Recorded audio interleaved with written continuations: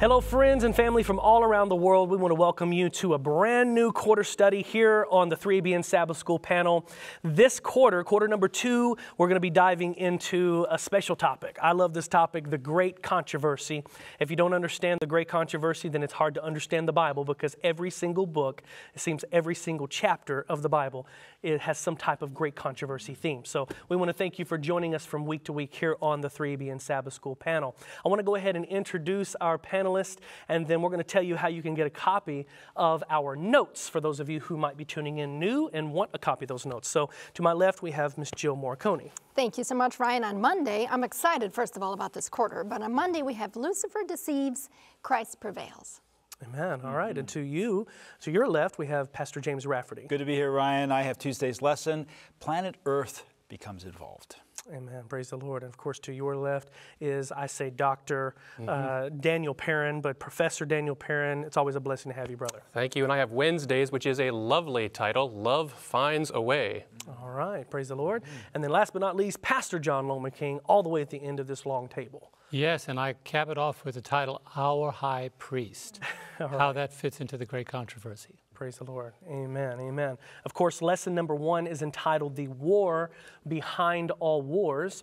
And uh, before we pray and get right into our lesson, we want to remind all of our viewers that you can actually get a copy of our notes. We all take notes differently, uh, and that's a blessing, I think, because we all think differently, our minds work a little differently. But if you want a copy of the panelists' notes from week to week, all you have to do is send us an email, and that email address is ssp at 3ab abn.org. Again, that's SSP, that stands for Sabbath School Panel, at 3abn.org. And of course, you can send us a, a, message and request a copy of the notes, and we'll make sure we get those to you each and every week from that point on. So, Anyways, so let's go ahead and have a prayer. There's lots to discuss and little time to do so. So, Pastor John Lomacang, why don't you have an opening prayer for us? Sure. Loving Father in heaven, the blessing is always ours but Lord, we know the task and responsibility for sending your Holy Spirit is yours. We open our hearts and our minds this morning. We ask that you flood our thoughts. We've done our homework, Lord, but our homework always falls short of your glory. So give us wisdom this morning as we uh, tackle this lesson, and may your people be listening to hear what the Spirit has to say. In Christ's name. Amen. Mm, amen. Amen.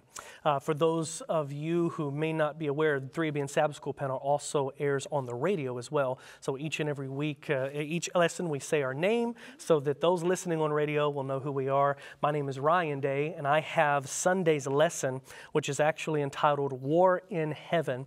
But I want to start actually with Sabbath afternoon just to kind of give us a wonderful uh, foundation for what it is we're going to be studying this week. The lesson brings out, it says, if, if God is so so good, why is the world so bad? How can a God of love allow so much evil to exist? Why do bad things happen to good people? In this week's lesson, we will explore the age long conflict between good and evil, beginning with Lucifer's rebellion in heaven.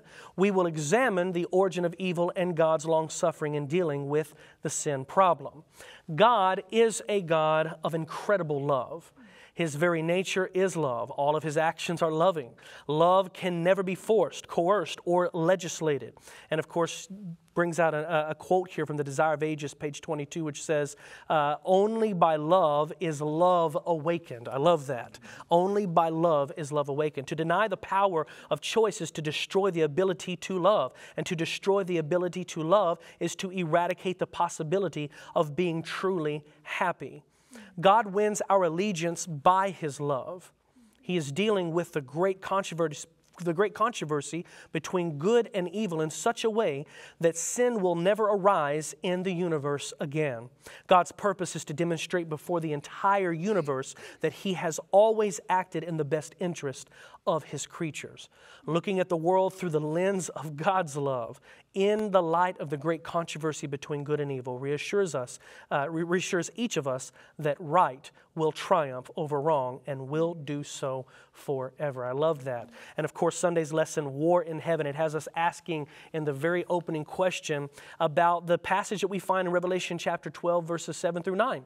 Uh, it is there that we find the God's church is mentioned and the enemy, Satan, that old dragon, the serpent, uh, that old dragon called the serpent and Satan, he's warring against God's people. He's trying to destroy Christ.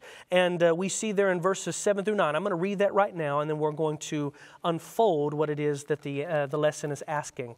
Revelation chapter 12, verses 7 through 9. It says, And war broke out in heaven. Michael and his angels fought with the dragon, and the dragon and his angels fought. But they did not prevail, nor was a place found for them in heaven any longer. So the great dragon was cast out, that serpent of old called the devil and Satan, who deceives the whole world. He was cast to the earth, and his angels were cast out with him. And, I, and that age old question how can, can sin begin in such a perfect place as heaven, right? Many people think sin began down here on earth, but actually it began in heaven above. And uh, why did God allow this to prevail? Why did God allow Lucifer to continue on past this rebellion? Surely he could have squashed him like a little mosquito right there, eradicated him, and done away with it. And uh, we, we probably would have never had endured this situation, right? Not the case. God had to allow it, and the answer is found in 1 John chapter 4 and verse 8. The Bible says in 1 John chapter 4 and verse 8, He who does not love does not know God, for God is love. All of these questions that we heard from Sabbath uh, afternoon's uh, message here, and I'm just going to go back here and see if I can find some of these. You know, how uh, if God is so good, why is the world so bad? How can a God of love allow so much evil to exist? Why do bad things happen to good people? And of course, Pastor John Lomacang would be quick to remind us: Are there any good people? That's assuming there's good people, right? None of us are good but one, right? That is God. Uh, but when you start asking these tough questions, the answer to that question is God is love. And we start to have to look into the nature of that love to understand why this great controversy battle had to unfold and must unfold the way that it has.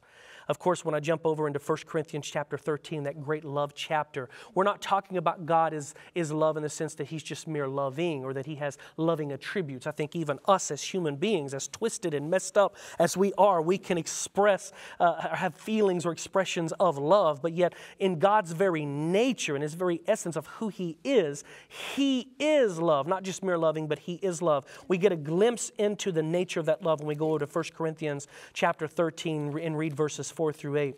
It says, Love suffers long and is kind. So remember, God is love. You could just insert right there where it says love is, you could just put God there because God suffers long and is kind. Uh, his love does not envy, His love does not parade itself, it is not puffed up, it does not behave rudely, it does not seek its own, it is not provoked, it thinks no evil, it does not rejoice in iniquity, but rejoices in truth. It bears all things, believes all things, hopes all things, and endures all things. And I love the first three words of verse 8 love never fails. I mean, I, love that passage because it helps give us a glimpse into God's very character, His very nature. When it says God is love, what does that mean? How can you be love? Uh, that would be like me looking at Jill and saying, Well, Jill is a very pretty lady. She is beauty. You know, that doesn't, I mean, that would be weird to hear someone say that. Like, Pastor Rafferty, uh, he's a handsome young man. He is, you know, he is handsomeness. I mean, that's, that we don't use those type of words to describe each other, but God can be described as love. And of course, Patriarchs and Prophets, page 33, I had to bring this out because it really sums up this point that we're trying to make here. And it starts with, as you guys know, if you've ever read uh, the Conflict of the Ages series, the Conflict series is the, very, or the Patriarchs and Prophets is the very first book, and the very first three words of that book is God is love. I love that. And then at the very last of the conflict series, with the great controversy, what does it say in the very, what's the last three words in that book? God is love. The great controversy is all summed up in these words, but it goes on to say here, His nature, His law is love. It ever has been, it ever will be. The high and lofty one that inhabiteth eternity, whose ways are everlasting, changeth not. With him is no variableness, neither shadow of turning. The law of love being the foundation of the government of God, the happiness of all the intelligent beings, depends upon their perfect accord with its great principles of righteousness. And then I love this next line here. It says, God desires, here it is, the gospel can be summed up in this sentence right here. God desires from all his creatures the service of love service that springs from an appreciation of his character. He takes no pleasure in a forced obedience, and to all he grants freedom of will that they may render him voluntary service. I love that. And so it's all based on love. That comes from Patriarchs and Prophets, page 33. And so we will learn that true love requires freedom, and that's why God allowed Lucifer to continue on. This war that broke out, it must have an end. It must now play out because of God's, God's love requires freedom. He allows us to exercise our free will, but of course, that freedom involved risk. And of course, the risk that comes of losing those people to the free will he has invested in them. And of course, that same principle applied to Lucifer. Lucifer and all the other angels were created with free will. That any point in time, they could choose freely to continue to serve God for all eternity or to rebel. And of course, Lucifer did just that. Let's go to Ezekiel chapter 28. We catch a glimpse into the heart of this rebellion of Lucifer. And I'm going to begin with verse 12, Ezekiel chapter 28 and verse 12. It says, Son of man, take up the lamentation for the king of Tyre and say to him, and we know this king of Tyre is for sure talking about Satan because of what the very opening words say here. Notice, uh, notice continuing in verse 12, it says, Thus says the Lord God, you are the seal of perfection, full of wisdom and perfect in beauty. Here it is, verse 13. You were in Eden, the garden of God. We know the king of Tyre himself wasn't in Eden. This is speaking uh, obviously metaphorical of of, uh, of Lucifer himself. It says, Every precious stone was your covering the sardius, the topaz, the diamond, the beryl, the onyx, and the jasper, the sapphire, the turquoise, the emerald with gold. The workmanship of your timbrels and pipes was prepared for you on the day you were created. Verse 14, You were the anointed cherub who covers. I established you. Now, did God create a devil? No.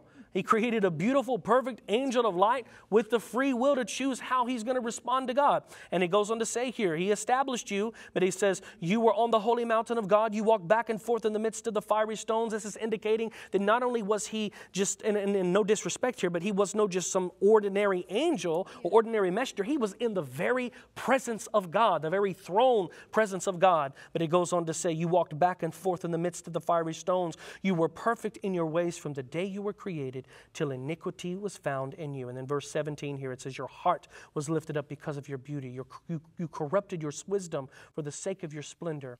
I cast you to the ground. I lay you before kings that they might gaze at you. I encourage you to read Isaiah chapter 14, verses 12 through 14 as well. It gives us a glimpse into the heart of Lucifer. And by the way, if you go on and read Patriarchs and Prophets, page 39, I, I was going to read some portions, but my time has ran out. But if you go read the 39th page of Patriarchs and Prophets, it gives you a glimpse into how God, He suffered long with Lucifer. He bore patience with Lucifer. He worked with Lucifer. He pled with Lucifer to change, and He gave him uh, tremendous opportunities to repent, to confess, and he would have reinstated him to his, oh, his same position. But because of Lucifer's pride, he fell. And so God is love. And so why, does, why did he bore along with, uh, with Lucifer? The same reason he does with us, because he is love, and love requires freedom. Amen. Thank you so much, Ryan. What an incredible start to this lesson Amen. on the great controversy. I'm Jill Morikone. On Monday, we look at Lucifer deceives, Christ prevails. Ryan talked about the origin of sin in a perfect place. I don't think for eternity I'm going to understand how, in a perfect world, self seeking arose, pride, selfishness, Lucifer's desire for self exaltation. His pride ripened, as it were, into full on rebellion against his Creator he stirred up rebellion amongst the angels. And I've also wondered, Ryan, how in the world were the angels led into this rebellion? Mm-hmm. Did they not love God? Were they not created by Him? How did that happen? For that, we're going to look at the deceptive power of Satan. Mm-hmm. Ryan read this verse. We're going to read it again. Revelation 12, verse 9. We see this deceptive power of Satan. Revelation 12, verse 9. The great dragon was cast out. Who's the dragon? That serpent of old called the devil and Satan. Where was he cast out from? He was cast out from heaven. Who, what's that word? Deceives the whole world. He was cast to the earth, and the angels were cast out with him. Now, how many of the angels were deceived and joined in this rebellion and were cast out to the earth? A third. If you look at Revelation 12, verse 4, we see his tail, this is the great red dragon's tail, or Satan's tail, drew a third of the stars of heaven and threw them to the earth. If you look at Revelation 1:20, we see that stars can equal angels. We won't look that up now, but a third of the angels who were in heaven, who loved God and honored God, were deceived by Satan and made a choice to throw their allegiance with the devil instead of with Christ. Mm-hmm. How does Satan deceive? And then we're going to look at how you and I have freedom of choice. But how does Satan deceive? I believe one of the main reasons he deceives is by attributing to God his own character. We're going to talk about that. Some of the ways that Satan attributes to God his own character. This is from Great Controversy, page 498. In his dealing with sin, God could employ only righteousness and truth. Satan could use what God could not flattery and deceit. Satan had made it appear that he himself was seeking to promote the good of the universe. The discord which his own course had caused in heaven, Satan charged upon the law and government of God. All evil he declared to be the result of the divine administration. Do we not see that today? What happens if a tornado comes in and wipes out, or a hurricane? What does insurance call it? Act of God. An act of God. Mm. Is that an act of God? Of course it's not. We see how Satan has so twisted our minds and understandings and deceived so many people today, even Christians. So let's look at how he misrepresents the character of God lie number one. Now, I'm stepping in maybe a little bit into Pastor James's day because he talks about in the, the sin in the Garden of Eden, so hopefully I don't overstep too much here. But what did Satan tell Eve in the garden? Has God said, You shall not eat of every tree of the garden? What is that lie that Satan says? He says God's restrictive. Mm-hmm. What is the truth? Sin is restrictive, sin is addictive. Sin puts you and I in bondage. God is the one who brings freedom. God's law is liberty, but Satan twists our understanding and makes us think, well, if you follow God, you're going to be restricted. Mm. 2 Peter 2, verse 19. While they promise them liberty, they themselves are slaves of corruption. For by whom a person is overcome, by him also he's brought into bondage. So Satan promises liberty, and as soon as you and I take that first step into the glittering world of sin, the seemingly glittering world of sin, we start to become ensnared and brought into bondage. What's another deception that Satan says? Remember in the garden, he said, You shall not surely die. So what does he what's the lie? He says God's a liar. God is untrustworthy. What is the truth? Satan's a liar. Jesus said that very clearly to the scribes and Pharisees in John 8 44. You are of your father, the devil. He's a liar and the father of it. By contrast, Jesus is the way, the truth, and the life. What's another lie? What did Satan tell Eve in the garden? God knows when you eat of it, your eyes are going to be open. This is speaking of when you eat of the fruit. And you will be like God. So, what is the lie that Satan tells us even down to today? God's selfish. God only looks out for himself.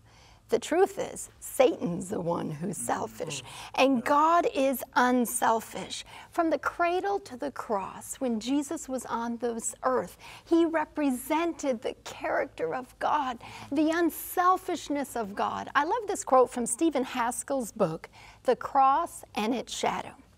It says at the cross, the infinite love of Christ and the unbounded selfishness of Satan stood face to face on the cross. This deceptive nature of Satan was fully unmasked. What's another lie that he tells us? And Ryan alluded to this when he asked that question in the beginning. The lie is that God causes pain and suffering. And the lie is also, well, God could stop it and he chooses not to. What's the truth? Satan is the one who brings sin and suffering and pain and death and destruction. What did Jesus come for? Luke 4, verse 18. He's standing there in the synagogue.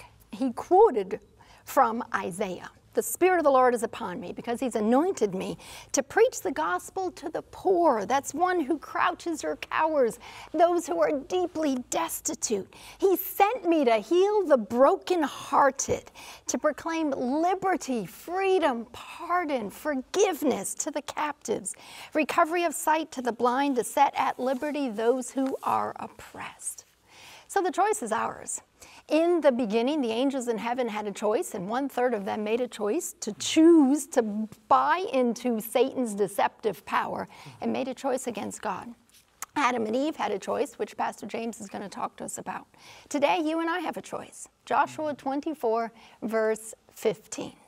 If it seems evil to you to serve the Lord, choose for yourself this day whom you will serve.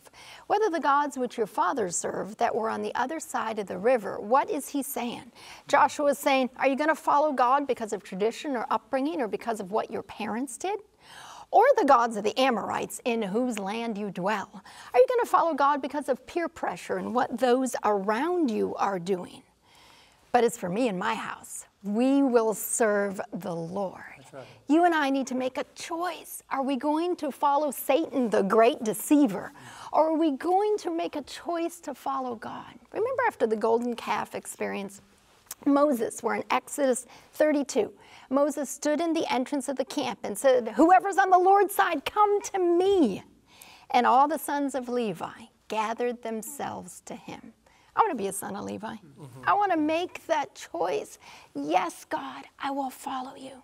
Mm-hmm. So, in closing, even when we are Christians, sometimes Satan can still come in, can he not? And he can still try to deceive us or twist our thinking. When Satan says, Who do you think you are? Speaking for God? You're nothing but a sinner. You can tell him the Word of God says, I might have been a sinner, but I am forgiven. I am justified. I am sanctified and washed in Jesus Christ. When Satan says, Your sins are too great, you cannot be forgiven. You can say, The Word of God says that God has cast my sins into the depths of the sea. When Satan says, There must be sin in this person's life, that's why they're dealing with this trial or this struggle or this difficulty. You can say, the Word of God says that Satan came to steal, kill, and destroy, but Jesus came that we would have life and have it more abundantly. When Satan says God's law is restrictive, are you really sure you want to follow him? You can say, the Word of God says that God's law is liberty, and Jesus came to set me free. When Satan says, God doesn't want you to be happy, you can say, The Word of God says that Jesus wants to fill me with all joy and peace in believing so that we can abound in hope by the power of the Holy Spirit. So I just want to encourage you, no matter where you are in your journey with Jesus, when Satan comes in with those deceptions against you, you have the opportunity to make a choice. Choose to stand on the Word of God. Stand on what God says about you and make a choice for Jesus. Choose to stand on the Lord's side. Mm. Amen. Amen. Thank you, Jill, so much. Appreciate that. All right, my friends, we're going to take a short break and we'll be back in just a moment, so don't go anywhere.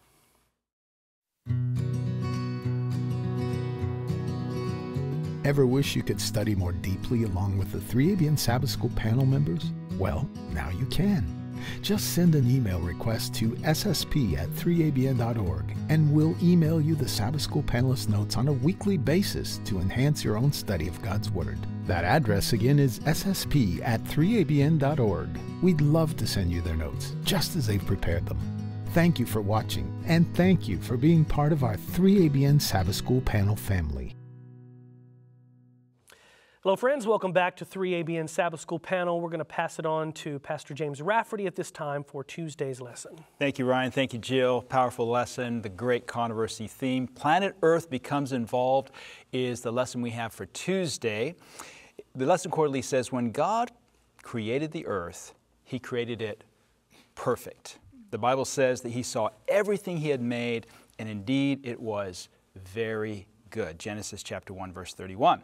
There was no stain of sin or evil anywhere. And I love that. I love that picture because Many times when we think about God creating this earth, we think about it in the context of its present condition.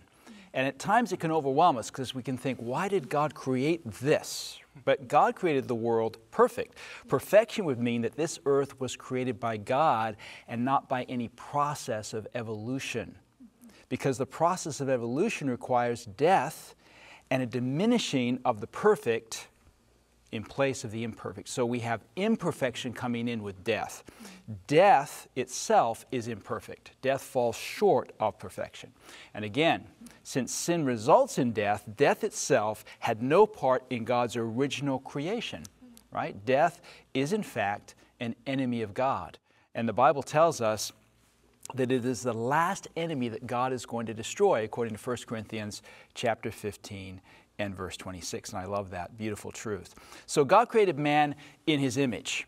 And as Ryan was sharing, that is the image of love. God created man in the image of love. God didn't just give mankind freedom, freedom is a, a, necessary part of love. And of course, that involves risk, as Ryan again shared so well. But, but being created in his image means that freedom was not some kind of external app downloaded into our internal hard drive to be accessed and, and run with certain programs, certain activities that mankind would participate in. Freedom, liberty, free choice is how our human DNA operates. Liberty is a part of our DNA. If you remove it, humans die. I mean, even, even though we may still breathe, even though we, we may still act like we're alive, we're not alive, we're dead. And the Bible basically says in Genesis that God breathed into us life. He breathed into us His Spirit. Mm. We became living souls. And the Bible says that where the Spirit of the Lord is, there is liberty 2 mm. corinthians chapter 3 verse 17 so you can see here this beautiful connection between the image of god the love of god and the freedom and the liberty of the Spirit that comes into us and forms us in His image. So, freedom and liberty is part of the DNA of humankind. And that's why we have this tree. That's why we have this test. That's why we have this risk. That's why we have this opportunity for choice, this opportunity for evil. So, in us, in the human race, built into every molecule, Every cell, every fiber, every atom of our being is the spirit or breath of life, and with it is the spirit of liberty. We feel it, we sense it. I know as Americans, perhaps we feel even more than, than others do. We just sense that liberty has to be had in all that we do, in all that we say, in all that we are. It is in our DNA. It is why men, why women, why children are at their very best when they're in a free society. We are birthed in freedom. We are birthed in liberty. We are created in the bosom of freedom and liberty. Spiritual energy, the very breath of God, comes into us and it brings with it freedom and liberty. God is love, and therefore God is. Where God is, there is liberty. For love necessitates this freedom, this freedom to choose. And this is where we find Adam and Eve in the Garden of Eden. They are in this creation of freedom and this creation of liberty. Yet choice brings this risk. And God knew that it would bring risk. In fact, Shelley's not with us on this particular lesson quarter, but she would always remind us of Revelation chapter 13, verse 8, the lamb slain from the foundation of the world. Right. What does that verse mean? It probably means a lot of things. But one of the things it definitely means is that Jesus Christ, that God, that the Godhead knew ahead of time what they were doing when they created us free. Mm-hmm. And knowing ahead of time what they were doing, they had to have a backup plan. Jesus Christ, the Lamb slain from the foundation of the world, was put in place from the very beginning of creation because we were created to be free. That is the very core of our being. The founding fathers of the great nation of America all knew the value of freedom. They understood it as something that was obvious. They understood that was something that was not given to, not, not parsed out to, but something that was actually part of who we were. And that is why they established this great nation on the document, the great document of the Constitution. They understood that everything that God had created, He had created in His image of love, was created in this uh, atmosphere of freedom. So it was everything to them because they knew what Adam knew, what Eve knew in that first experience in the garden. They knew as Adam and Eve stepped into the cruel tyranny of sin, they knew what it, what it meant to be under tyranny, to be under control, to be under the bondage of rulers who were not themselves just and loving as God was. And they had broken away from that. They had broken away from the slavery, the dark masters of this world, the forces of evil, evil that capture human beings and, and bring them into bondage. They'd broken away from that and they wanted to, get, to extend this liberty to everyone who would come to this great place, who would recognize these great principles. And so they established this nation, a nation free, a nation free to worship God or not worship God. And that's what made America a Protestant Christian nation or a Protestant nation, Protestant America. It wasn't that they had a, a religion, they had uh, a belief in the principles of Christianity that allowed freedom for every religion, for every creed. Now, when we look at this in this context, we recognize that this is why Jesus came to this world. He came to this world because mankind stepped in under the tyrant of Satan and sin. He came, as Jill was sharing, uh, Luke chapter 4, he came to set us free. He came to give us the freedom and the liberty from that bondage, from that prison house. The devil came to kill and steal and destroy, but Jesus Christ came as our deliverer to set us free, free to love, free to live, free to be happy again in his kingdom, uh, his kingdom of grace, which had cl- uh, clearly been uh, taken from us by the deceiver, the accuser. Fallen mankind worshiping ourselves, worshiping the devil rather than worshiping God in whose image we were created. So Jesus plainly said that, that we were following the devil. You have your father, the devil, John 8 44. Uh, the lust of your father you will do. He was a murderer from the beginning, and he abode not in the truth, because there is no truth in him. When he speaks, he speaks a lie because he speaks of his own, for he is a liar and the father of it. Lies are the main course of the accuser, they're his diet. He uses them to turn us from God, to turn us into His image, and He uses us to keep us in His image and to keep us in bondage and fear and victims of His control. And so it says that the serpent came to Adam and Eve in the Garden of Eden. Jill shared this just a little bit in Genesis chapter 3, 1 through 5. And he began with his deception, he began with his lies. God is a withholder. He doesn't want to give you uh, all that he has, he's holding something back. God is a controller. He doesn't want you to be free to know and be like what he knows and to be like him. God is a liar. He told you you would die if you ate of this tree of the knowledge of good and evil. You're not going to surely die. And we've been into the lie. We took a bite of that lie, and this is what has brought us to the place we are right now. This has taken away from us the freedom, the, the, the freedom that God created us to, ex, to experience the image of God in our very being. And just so we don't make the mistake of blaming our ancient forefathers for t- their terrible judgment, let's be clear we have all been biting into the lie ever since. It wasn't just a tree, it wasn't just some fruit, it was a lie, a lie about God, a lie about His character. We believe that God is a controller. We believe that God has, is a liar. We believe that God is withholding something from us. This is the major issue at the heart of all of our pain. It's the major issue at the heart of all of our sorrow, all of our acting out. It's all about our Father and our belief in our Father, our belief in God, our belief in His character, our belief that He is a character of love, that He made us free. The devil is all about bondage, God is all about freedom. And if we could grasp this one reality, we would find freedom freedom in Christ, freedom to love, freedom to live, freedom to forgive, freedom to move on, freedom, whatever and wherever, from whatever and whatever, wherever, from wherever we've come from and from whatever we've done, freedom to get past all of it, to be restored into God's image. If we would believe this, then we, be, we would become servants of Christ and live and die that others may be set free, mm. restored to the image of God. So we have participated in, in Lucifer's rebellion, and Christ has come to set us free from that participation. Amen. Mm-hmm. Thank you, Pastor James. I'm Daniel Perrin, and I have Wednesday's lesson called Love Finds a Way. We started this week's lesson with the character of God. God is love. And then God, out of his love, permits deception and war in heaven, then permits sin on earth, and now we go straight to the heart of the gospel. Love finds a way.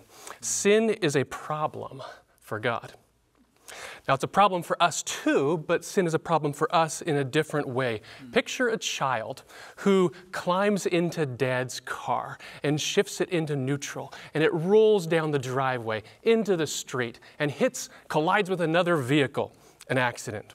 The child now can't fix it. He knows it's a problem. The child apologizes, and the child is sad, but the kid's got no money. He's got no experience repairing vehicles, can't make the phone calls, can't understand the problem even, couldn't arrange towing, doesn't even have the connections to make the phone calls or, or talk to the other driver. Whose problem is it? It's dad's problem. The solution, if there's going to be one, is going to have to come from dad's initiative, from dad's resources, from dad's wisdom, and if there's a price to be paid, it has to be paid from dad's account. Now, sin is nothing at all like crashing a car, but once done, Adam could do nothing. Eve could do nothing to fix it. They could apologize, they could pay a penalty, they could be regretful, they could shift the blame, but they could not unbreak the law. No amount of payment from Adam or any other sinner in all history to follow could ever reverse what had been broken, and no earthly metaphor like the one I've just given is sufficient. Sin broke their essential connection with God and it contaminated them. And you cannot clean a dirty dish with a dirty rag. Adam and Eve, every sinner, is a dirty dish. And there's nothing in them that is not already contaminated. Sin is not a problem for Adam to puzzle through, it is God's problem. What is God going to do? What can God do? From the moment sin uh, separated God and man, all attention was turned on the Father. What will He do? Can anything be done? Well, there's good news in the title here. Love finds a way to do what sinful man couldn't even hope to hope for. Or more, more accurately, love had already found a way. Love was the way, love had always been the way, and it was embedded in the very nature and character of who God is love. And we see this. No sooner does Adam sin than God begins to reveal something that he had already established that was personally costly for him. And so there's hope in us for this. We see the illustration of Isaiah 65 24. Before they call, I will answer. So here's what God's actually said Genesis 3, verse 15. Go there in your Bibles and we'll stay there for a little bit. So God speaks this to the deceiver, to the serpent, in the presence of the human sinners to be understood and heard by both. He says, I will put enmity between you and the woman. This is a promise here. And between your seed and her seed, capital S there, he shall bruise your head, and you shall bruise his heel. Adam and Eve could not have begun to grasp these words before they had sinned. But now, here they are, facing the consequences of sin, and they can begin to experience the love of God that is expressed in these words mercy, forgiveness, sacrifice, and much more. Now, to our feeble human minds, clouded by sin and the weight of all, all the things that distract us, these words sound really mysterious. And that's what this is. This is the mystery of Christ, the mystery of the gospel. And the full picture is going to be threaded now through the scriptures, encoded like war messages, bearing instructions of utmost importance, starting right here, revealed step by step. And this is that first step revealed as we are able to understand it and to bear it. Now, we think of a mystery kind of like uh, the concocted intricacies of hidden sin on a TV program, a murder mystery. No, but um, biblically, a mystery is what God knows and God reveals to us in His time and as we are able to understand it. So Genesis 3:15, that text there is the beginning of this revelation. And it's a prophecy. It's a prophecy of the cross on which Jesus died. The first prophecy of many. And so in simple words, Genesis 3:15 is the record of the great controversy compressed into just a single verse, a sentence, all given in advance. Now, we don't know necessarily how much of it Adam understood right then, but he certainly meditated upon it as we should, and it gave him assurance that God had a plan. Love had already found a way. So, if you've never really pondered this text before, let's do it just for a few minutes here and see what we can learn from these words. I will put enmity. Enmity is hatred enmity between you and the, the, woman, between your seed and her seed. Now, our human heart naturally, because of sinfulness, our carnal nature now, we gravitate towards sin. We love it. The human heart is desperately wicked. We would crawl over land and sea towards sin. And God says, I'm going to give you something that you don't naturally have. I'm going to place an enmity against, uh, against the serpent, the devil. So instead of being destroyed immediately now, Satan is allowed to continue to demonstrate his principles. Enmity exists. He doesn't just wipe him out, but he says, I'm going to allow there to be a conflict and a war so that you can see the demonstrated principles of the serpent and see him for who he truly is. And that war, we learn this in this verse, is not going to go on forever. It's going to be interrupted and it's going to end. God promises that.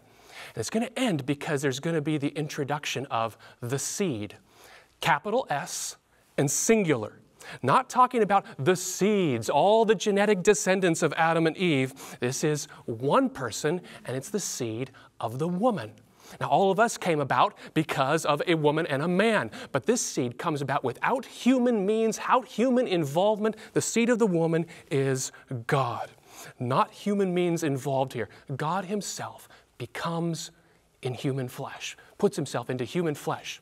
Now it's through the woman, which means he becomes one of us. And this here is God's solution that the divine Son of God would humble himself through self denial, become one of us, and demonstrate for us the way that we must go self denial and humbling himself, humility. And by this act, God would make a complete display of his nature, his love in contrast with the violence and the sin of sin and Satan. Right. Now, there's a bruise that's going to happen, or rather, two bruises, which lets us know that there's going to be a real conflict. And, and that the, the seed of the woman, that Christ Himself, that God Himself is not going to come away from this conflict unscathed. Mm-hmm there's going to be a price that is paid that he, and this is Jesus, would live a perfect life without sin, not even yielding once to temptation from the devil, from the tempter, even though he is going to be tempted hellishly, torturously. But he's going to live a life of perfect kindness and courtesy, the outpouring of sacrificial love, complete and unblemished. And the contrast is going to be clearly seen, especially at the cross.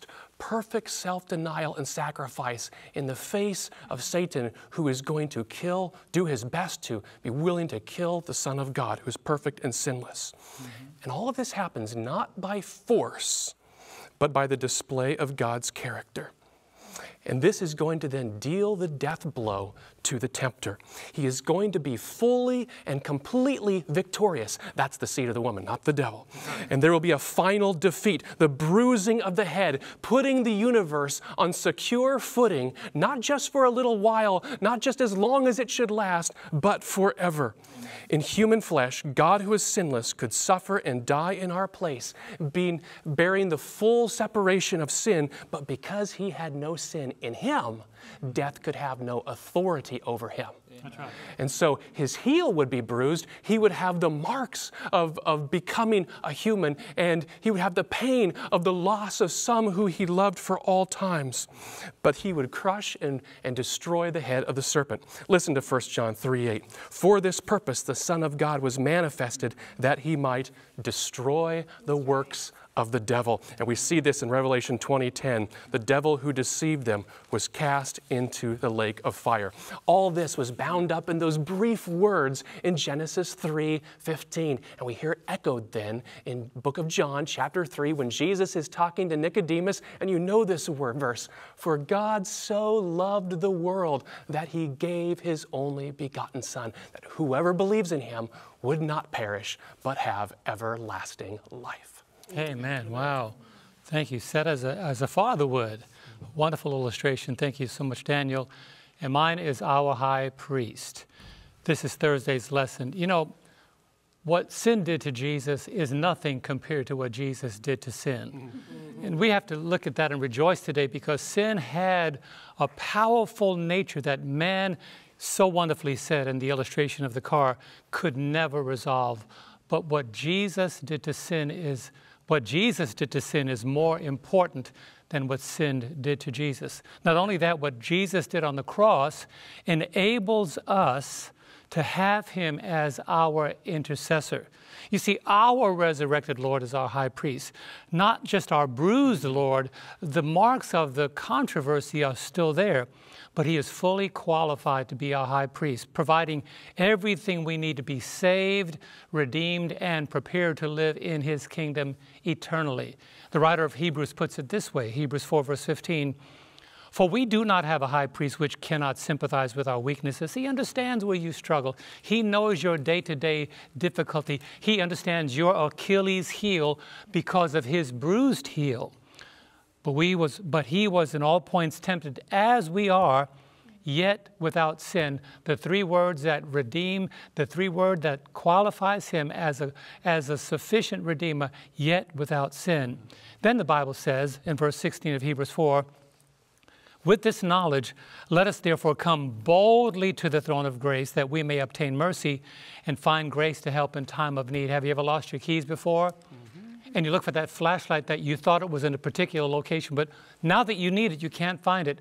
Not so with God's grace. Whenever you're in a difficult situation, God's grace is right at the tip of your finger, right at the end of your prayer, right on the bottom of your knees. Wherever you are, in whatever circumstance you're in, God's grace is within one breath away. We can come and obtain mercy and find grace to help, even when we can't find our flashlight. You see, but to appreciate our high priest, it's imperative to understand his role. The high priest was the intercessor between God and his people, acting as their representative before God. The role of the high priest, though, was enforced as long as the high priest lived. And I asked myself the question how many high priests did every Israel have? How long did they live? But not so with Jesus. Hebrews 7, verse 25. Therefore, he is able to save to the uttermost those who come to God through him. And don't miss this part. Since he ever lives to make intercession for us. Isn't that an amen? Mm-hmm. He doesn't sleep, he doesn't slumber, he doesn't take vacations. His full time job is to save and to intercede for his children. You know, friends, we have a high priest that is not one who has a limited time span on this earth. Not so with our high priest. The Bible says in Hebrews 8 and verse 1 now, I like this. This is the main point of the things we are saying. We have such a high priest. I like the way this says, not just a high priest, but such a high priest who is seated at the right hand of the throne of the majesty in the heavens. Day and night, night and day, weekends, vacations, holidays, all seasons, all times of day, we have a high priest seated by the right hand of the majesty in heaven.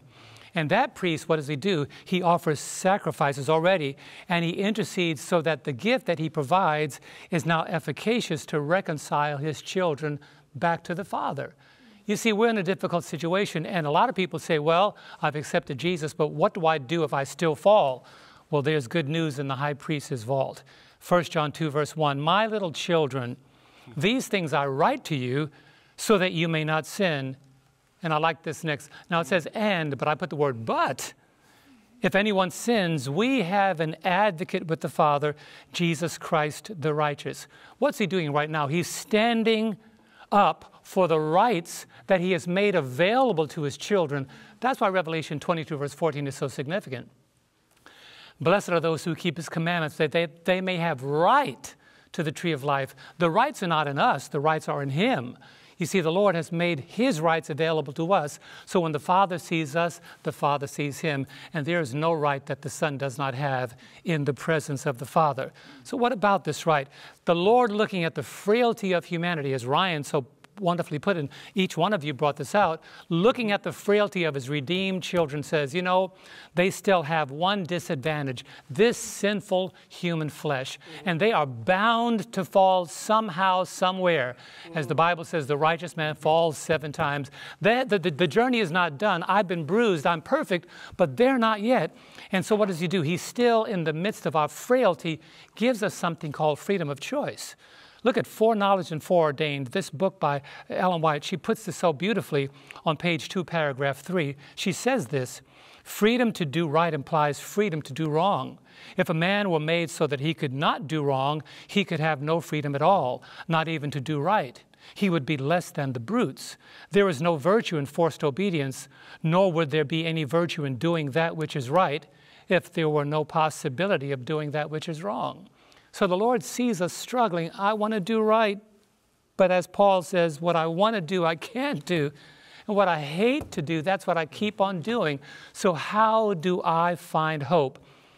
We have an advocate with the Father, Jesus Christ the righteous. What does an advocate do? An advocate advocates, stands between. He says, Father, I'm not done yet. The work I began in them, I'm going to complete it. So keep John in our book of life. Keep Jill and Ryan and James and, and, and Daniel in the book of life. I'm not done with them yet. And they don't even know it. It has not yet been revealed to them what they shall be. But Father, my blueprints shows me what they're going to look like when I'm done. The blueprint is the character of Christ, the righteousness of Christ. So our high priest is working out his salvation according to his perfect blueprints, his own righteousness. But he's not done yet because in our minds, in our hearts, in our lives, there are frailties that, that battle on a day by day basis. So when we think about the high priest, Mark Finley asked the question how does that thought give us assurance in a world of temptation, suffering, disease, and death? I have four points, Jill, and here they are. What about the high priest? Let's first understand his identity. Jesus understands our struggles, he empathizes with our frailty. We don't have to feel diffident to approach God's throne. We don't need to be shy or feel this lack of assurance to come through his throne. Why? Because insecurity vanishes in the presence of Jesus. Jeremiah 33, verse 3 says, Call to me, and I will answer you, and show you great and mighty things which you do not know. When you give your life to Christ, even in the moments that you fail miserably, He says, I can do more for you than you can ever imagine can be done for yourself. Just come to Him, call on Him. And the Bible says, Whoever calls on the name of the Lord will be saved. First, from identity to invitation. We are invited to come to Jesus with confidence, not to demand his grace, but to receive the grace that is freely extended to us. Matthew 11, verse 28 Come to me, all you who labor and are heavy laden, and I might give you rest. Say it again. I will give you rest. This is an assurance. Come with confidence. Father, I need your help. Come, I'll give you rest. Rest from your frailties, rest from your disappointments, rest from the plans that just didn't work out, the marriage that fell apart, the children that went astray, the job that fell through, the plans you had that just looked like it was going to succeed, but something happened. Come to me and I will give you rest. Not only that, the influence. You see, there is no depth to which we can sink that God cannot reach.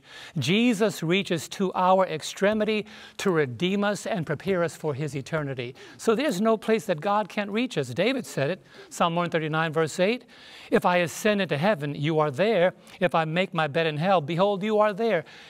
No matter how high your frailty and how low your faltering, the Lord can reach you at both extremes. I am always and in every case where you are present. And finally, from identity, invitation, influence to intercession. The throne of grace is reserved for the hopeless and the helpless because Jesus delights in saving us. Lamentation 5, verse 19. How do we find salvation in Lamentation? Here it is. You, O Lord, remain forever, your throne from generation to generation. Whenever the emergency, you can come boldly before the throne of grace because it's never moved. God is always there. And why is He there? Romans 5, verse 6. For when we were still without strength, in due time, Christ died for us. So here it is in a nutshell. Everything that we should be, He is. In Christ, there's no, no condemnation for our sins that are past.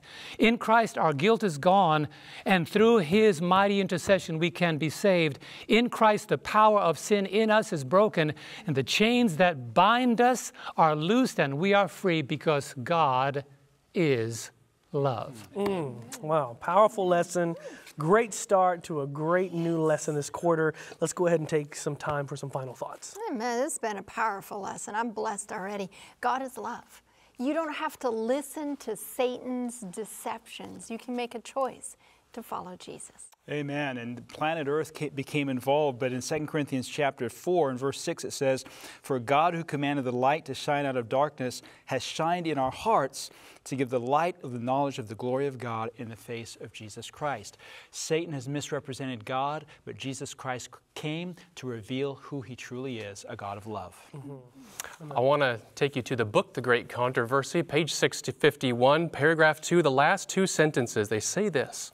The cross of Christ will be the science and the song of the redeemed through all eternity.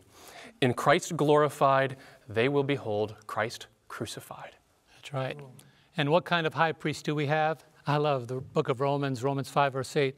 But God demonstrates his own love towards us in that while we were still sinners, our high priest, our advocate, our Savior, our Lord died for us. That's the high priest that we all need to have today. Mm, amen. I just want to read just a small paragraph from uh, Patriarchs and Prophets, page 39. Speaking of the rebellion in heaven, it says Lucifer was convinced that he was in the wrong.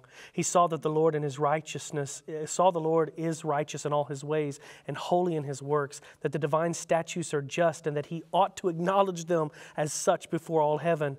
He nearly reached a decision to return, but pride forbade him. My friends, don't let pride keep you from coming to Christ. Why should you die for your sins when He has already died for them? Put your trust in Jesus today. We want you to be encouraged to join us next week for lesson number two in our study on the great controversy. And lesson number two is entitled The Central Issue Love or Selfishness. So don't go away. Come back next week and join us for the special study on 3ABN Sabbath School panel.